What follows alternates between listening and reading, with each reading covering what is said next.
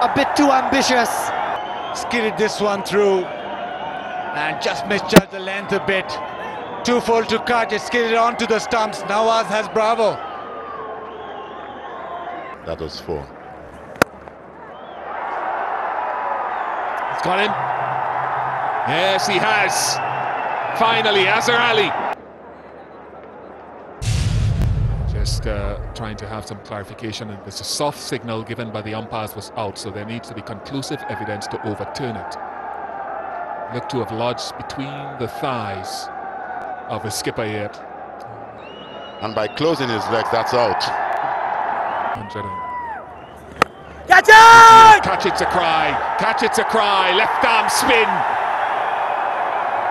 He was looking, I think, to go inside out Bish. Didn't quite get the timing that he would have liked. And um, who it was on the, the that um, on the boundary?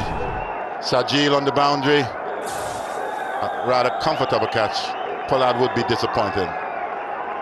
And you can see the look on the big man's face that um, Oh! Beautiful delivery. It looked pretty as well. I mean, that's a classical dismissal for a left armer. Bamboozled him with first bit of flight and angle, and then the ball spun sharply. Braithwaite was not expecting it to spin across. It did. Yeah, he wasn't. He wasn't expecting the ball to spin this much and spin sharply.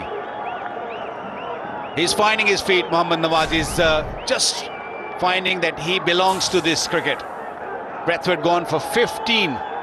Is 125 for seven.